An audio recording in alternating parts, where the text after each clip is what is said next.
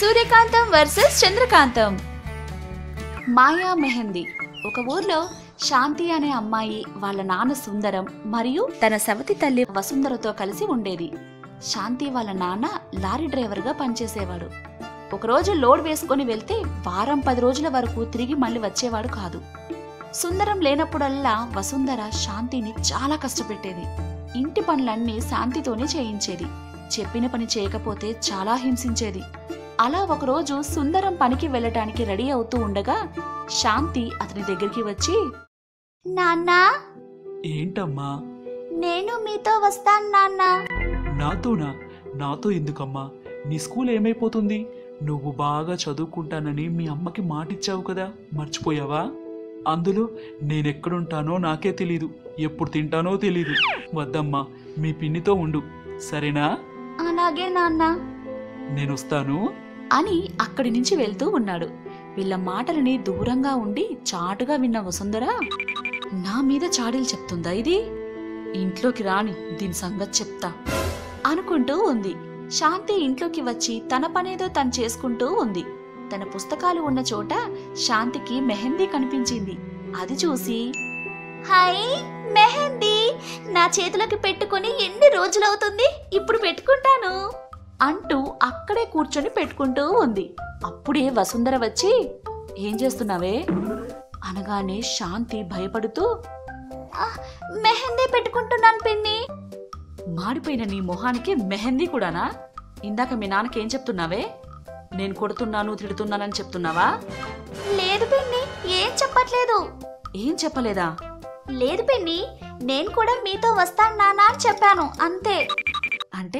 నేను కష్టాలు పెడుతున్నానే కదా నువ్వు వెళ్తాను అంటున్నావు. నిన్ను ఇలా కాదే కాళ్ళు చేతులు విరిచేయాలి. వద్దు పిన్ని నన్నేం చెయ్యొద్దు అంటూ ఉంటే వసుంధర శాంతి దగ్గరికి వచ్చి శాంతి చేతిలో ఉన్న మెహందీ లాక్కొని మెహందీ కావాల్సి వచ్చిందా నీ మొహానికి? మెహందీ అంట మెహందీ. వెళ్ళి ఆ తిన్న గిన్నెలు కడుగు. లేదంటే అట్లకాడతో నేనేసే మెహందీ ఎప్పటికీ ఉండిపోయేలా ఉంటుంది. వెళ్ళు. అని గట్టిగా అంది. శాంతి మరేం మాట్లాడకుండా అక్కడి నుంచి వెళ్ళిపోయింది. తిన్న గిన్నెలన్నీ తోమి ఆ తర్వాత బట్టలన్నీ ఉతికేసి ఇంట్లోకి వచ్చింది. ఇంట్లోకి రాగానే అయిపోయాయా పనులన్నీ? హా పిన్ని అయిపోయాయి. మరి ఇల్లెవరు తుడుస్తాడు? ఇల్లు కూడా తుడిచేయి. అది పిన్ని స్కూల్కి టైం అవుతుంది. ఏంటి? పని చెయ్యి అంటే స్కూల్ అంటావేంటి? అని వచ్చి శాంతిని బాగా కొట్టింది. వద్దు పిన్ని కొట్టద్దు. పిన్ని ప్లీజ్ పిన్ని కొట్టద్దు.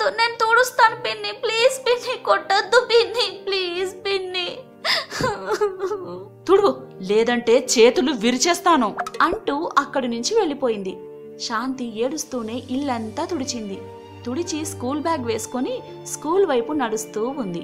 అలా నడుస్తూ ఉండగా దారిలో ఒక ముసలాయన భుజానికి ఒక సంచి వేసుకొని నడుస్తూ శాంతికి ఎదురొచ్చి అమ్మా నేను పక్కూరికి వెళ్ళాలి. అంత దూరం నడవలేను. బస్సు ఛార్జీలకు సరిపోయేంత డబ్బు ఉంటే ఇవ్వగలవా? అయ్యో తాత నన్ను క్షమించండి. నా దగ్గర అంత డబ్బు లేదు. పర్వాలేదులే అమ్మా. అంటూ ఉండగా శాంతికి కొంచెం దూరంలో ఒక తోపుడు బండి కనిపించింది. ఆ బండి చూడగానే శాంతి తాత నేను మీకు డబ్బు ఇవ్వలేను కానీ మీరు ఒప్పుకుంటే అదిగో ఆ తోపుడు బండి మీద మిమ్మల్ని కూర్చోపెట్టుకొని పక్కూరు వరకు తీసుకెళ్తాను. అనగానే ఆ ముసలాయన చాలా సంతోషించి చాలా సంతోషం అమ్మా సాయం చెయ్యాలన్న ఆలోచన మంచి మనసుంది. అది చాలు తల్లి. అంటూ తన భుజానికి ఉన్న సంచిలో నుంచి ఒక డబ్బా తీసి ఇదిగో అమ్మా ఇది తీసుకో. ఏంటి తాత ఇది? నీ కష్టాలన్నీ నాకు తెలుసు తల్లి. నీ మంచితనానికి నేనిస్తున్న బహుమతది అందులో మెహందీ ఉంటుంది. మామూలు మెహందీ కాదు.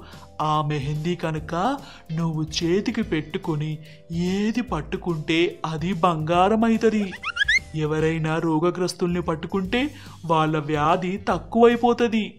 దీంతో నీ కష్టాలు కూడా పోతాయి తల్లి. నువ్వు ఇది మంచి కోసమే వాడతావని అనుకుంటున్నాను. అని చెప్పి అక్కడి నుంచి వెళ్ళిపోయాడు. శాంతి చాలా ఆనందంగా ఆ డబ్బా తీసుకొని ఇంటికి వచ్చింది. ఇంటికి వచ్చి మెహందీని పెట్టుకుంది. పెట్టుకున్న కాసేపటికి వసుంధర హేయ్ ఏం చేస్తున్నావే?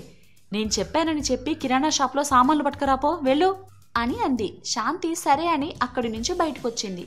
అలా శాంతి రోడ్డు మీద నడుస్తూ ఉండగా ఒక చెట్టు కింద ఒక ఆవిడ తన కూతుర్ని ఒళ్ళో పెట్టుకొని చేతిలో ఒక గిన్నె పట్టుకొని వచ్చిపోయే వాళ్ళందరి దగ్గర అడుక్కుంటూ ఉంది. శాంతి ఆమె దగ్గరకు వెళ్ళింది.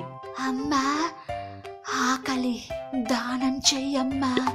అంటూ ఉండగా శాంతి ఆమె చేతిలో ఉన్న గిన్నె పట్టుకుంది. శాంతి పట్టుకోవడంతోనే ఆ గిన్నె బంగారంగా మారిపోయింది. అది చూసి ఆ ముష్టావిడ ఆశ్చర్యపోయింది. దీనితో నీ కూతుర్ని బాగా చూసుకో. ఇక నువ్వు అడుక్కోవలసిన పని ఉండదనుకుంటున్నా అని చెప్పి అక్కడి నుంచి వెళ్తూ ఉంది. అలా ఇంకొంచెం ముందుకు వెళ్ళాక రోడ్డు పక్కన ఒక కుష్టి వ్యాధిగ్రస్తుడు కనిపించాడు. అతనికి కుష్టి వ్యాధి ఉందని ఇంట్లో వాళ్ళే అతన్ని రోడ్డు మీద పడేశారు. శాంతి అతని దగ్గరికి వెళ్ళి అతన్ని పట్టుకోవడానికి ప్రయత్నిస్తూ ఉండగా దూరం నుంచి కమల అనే ఆవిడ చూసి ఇదిగో పాప అతన్ని ముట్టుకోవద్దమ్మా అని అంటూ ఉన్నా కూడా శాంతి అతన్ని పట్టుకుంది. శాంతి పట్టుకోవడంతోనే అతని వ్యాధి తగ్గి మామూలు మనిషి అయ్యాడు. అది చూసి అందరూ షాక్ అయ్యారు. కమల ఆశ్చర్యంగా చూస్తూ ఉండిపోయింది. నాకు రోగం వచ్చిందని నా వాళ్ళే నన్ను రోడ్డు మీద పడేశారు. కానీ నువ్వెవరో తెలియకపోయినా వచ్చి నా రోగాన్ని తగ్గించావు తల్లి. జీవితాంతం నీకు రుణపడి ఉంటాను అని రెండు చేతులు ఎత్తి దండం పెట్టాడు. శాంతి చిన్నగా నవ్వుకుంటూ అక్కడి నుంచి వెళ్ళిపోయింది. పిన్ని చెప్పిన సామాన్లన్నీ తీసుకుని ఇంటికి వచ్చింది.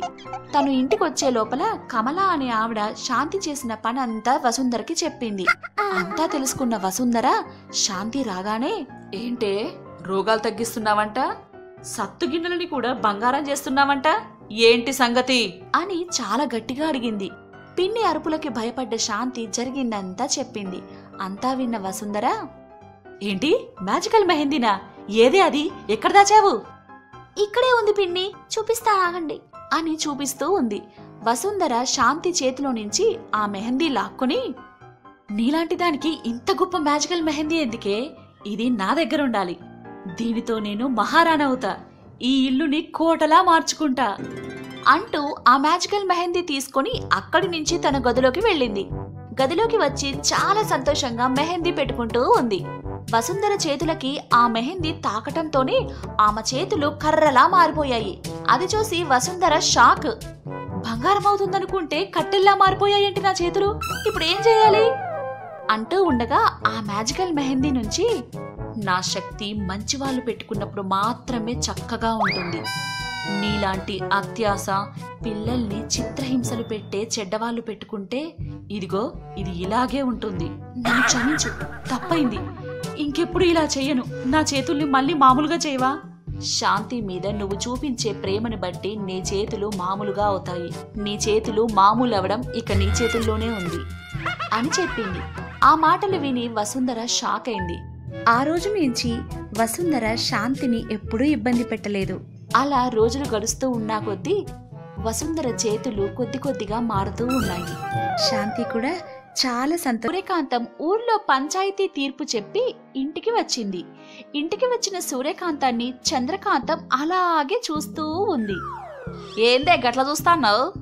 వావ్ అత్తమ్మా! నీ కమ్మలు ఎంత బాగున్నాయో తెలుసా?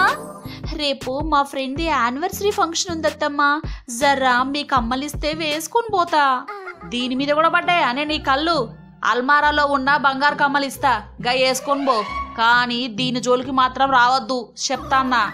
ఎందుకత్తమ్మా? ఎన్నిసార్లు అడిగినా ఆ కమ్మలు మాత్రం ఇవ్వవు. పైగా నువ్వు మాత్రం పంచాయతీ తీర్పు ఇచ్చే ప్రతిసారి వేసుకొని వెళ్తావు. ఏంటి సంగతి? ఆ మాటకి సూర్యకాంతం మనసులో నీకేం తెలిసే పిచ్చికొడల గివి మ్యాజికల్ ఇయర్ రింగ్స్. ఇవి గనక చెవులకు పెట్టుకుంటే అవతలోళ్ళు ఏమనుకుంటున్నారో మనకి వినిపిస్తుంది. దీన్ని పెట్టుకునే గిన్ని దినాలు పంచాయతీలో మంచోడెవడో దొంగోడెవడో తీర్పు చెప్పొస్తాన్నా. ఇప్పుడు గివి నీకిస్తే మళ్ళీ ఏదో ఒక ఆగం పని చేస్తావు. వామ్మో గివి గనక నీ కంటపడితే అంతే సంగతి. కనపడకుండా దాసేయాల. ఏంటత్తమ్మా కమ్మలు అడుగుతూ ఉంటే ఏమో సొచాయిస్తాను అరే ఇవి మా అమ్మ నాకు ఇచ్చిన కమ్మలే. నాకు అసలే సెంటిమెంట్లు ఎక్కువ అందుకనే ఇవి ఇవ్వను. సరేనా? ఇక వీటి గురించి ఎప్పుడు అడక్కు. మర్చిపో. అని చెప్పి అక్కడి నుంచి వెళ్ళిపోతుంది. సూర్యకాంతం వెళ్ళిపోయాక చంద్రకాంతం అరే ఏంటేమా ఎప్పుడు చూడు ఈ కమ్మలు ఇవ్వను ఇవ్వను అని మొండికేస్తుంది? అంటే ఈ కమ్మల్లో ఏదో మ్యాజిక్ ఉండనే ఉంటుంది. మెల్లిగా ఎట్లాగైనా గా ఇయర్ రింగ్స్లో ఏం పవర్ ఉందో తెలుసుకోవాలే. అని మనసులో అనుకొని మెల్లిగా సూర్యకాంతం లేని టైం చూసి ఆ కమ్మలు అక్కడి నుంచి దొంగతనంగా తీసుకుంది. అవి తీసుకున్న వెంటనే వాటిని పెట్టుకొని చక్కెర సుజాత దగ్గరికి వెళ్తుంది. వెళ్ళి సుజాతతో ఒసే సుజ్జి ఈ కమ్మలు ఎట్లున్నాయా నాకు? మంచిగున్నాయా చెప్పు? దానికి సుజాత మనసులో ఇలా అనుకుంటూ ఉంది. ఏడ నుంచి కొట్టుకొచ్చినట్టుందో ఏమో? పైకి మాత్రం మస్తున్నాయే చందు.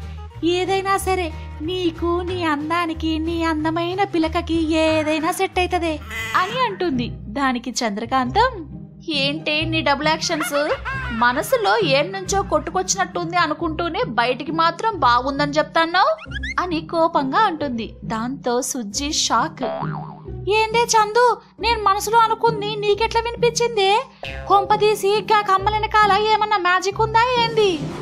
ఆ మాట వినగానే చంద్రకాంతానికి మొత్తం అర్థమైంది. అవునే ఇవి పెట్టుకోగానే జనాలు వాళ్ళ మనసులో ఏమనుకుంటున్నారో అది వినిపిస్తుంది అనుకుంటా అని సుజాతతో అంటుంది. దానికి సుజాత ఎగ్జైట్మెంట్తో మస్తుంది కదనే అని అంటుంది. దాంతో చంద్రకాంతానికి ఒక ఐడియా వస్తుంది. వెంటనే సుజాతతో ఒసేయ్ నా కాడ ఒక మంచి ప్లాన్ ఉంది. అది గనక చేస్తే మనం ఈ మ్యాజికల్ ఇయర్ రింగ్స్తో మస్తు పైసలు సంపాదించుకోవచ్చే. అని అంటూ చంద్రకాంతం చక్కెర సుజాత చెవిలో ఆ ప్లాన్ చెప్తుంది. మరుసటి రోజు చంద్రకాంతం ఒక బాబా వేషం వేసుకుని ఊరిలోకి వస్తుంది. చక్కెర సుజాత ఆమె గురించి అందరికీ ఇలా ప్రచారం చేస్తూ ఉంది. అమ్మా రండమ్మా రండి! ఈవిడే మహిమలు ఉన్న ఆగం పూజితాదేవి! దానికి చంద్రకాంతం మెల్లిగా ఒసే తల్లి అది ఆగం కాదే దైవం! నీ హాఫ్ నాలెడ్జ్ తగలయ్యా! అని తిడుతుంది. దాంతో తప్పు సరిదిద్దుకుంటూ సుజాత "ఆ, ఆ, ఆ, అదే అదే. దైవం పూజితా దేవి మీ కష్టాలను తొలగించడానికి వచ్చింది.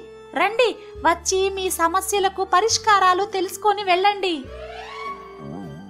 అది విన్న జనాలు అక్కడికి వస్తారు. వచ్చి జనాలు మనసులో ఏమనుకుంటున్నారో మ్యాజికల్ ఇయర్ రింగ్స్తో విన్న చంద్రకాంతం ఒక్కొక్కరిని చూపిస్తూ వాళ్ళతో ఇలా అంటుంది. మీకు డబ్బు సమస్య. మీకు పిల్లలు లేరే అన్న బాధ. మరి మీకు మీ సంసారం బాగుండట్లేదు అన్న బాధ. అందరి సమస్యలను పరిష్కరిస్తాను. అని అంటుంది. అది విన్న జనాలు షాక్ అయ్యారు. ఒకరితో ఒకరు ఇలా అనుకోవడం మొదలుపెట్టారు. నా మనసులో ఉన్న మాట ఈమెకెట్లా తెలిసింది? నిజమే నా మనసులో మాట కూడా అదే. బలి చెప్పేసింది. ఈమెవరో మహిమలు కలిగిన తల్లిలా ఉంది. మన కష్టాలు తీర్చడానికే మన ఊరికొచ్చినట్లుంది. అని అనుకుంటూ అందరూ ఆమెను మొక్కడం మొదలు పెడతారు. అలా అందరూ చంద్రకాంతాన్ని గట్టిగా నమ్ముతారు.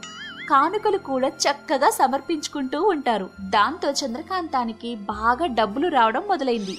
సుజాత చంద్రకాంతం తమ ప్లాన్ సక్సెస్ అయినందుకు ఎంతో సంతోషిస్తూ ఉన్నారు. అప్పుడే మ్యాజికల్ గ్లోబ్ ద్వారా వీళ్ళ కథ మొత్తం తెలుసుకున్న సూర్యకాంతం అక్కడికి వస్తుంది. తన కోడలు చంద్రకాంతం తన మ్యాజికల్ ఇయర్ రింగ్స్ని దొంగతనంగా తీసుకొని జనాలను మోసం చేయడం చూసి తనకు రక్తం ఉడుకుతుంది.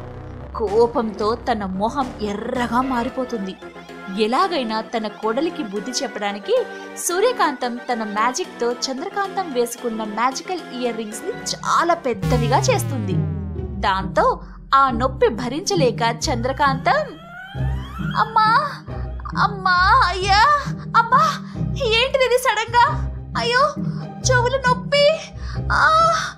అత్తమ్మా కాపాడండి అయ్యో దేవుడా అత్తమ్మా కాపాడండి.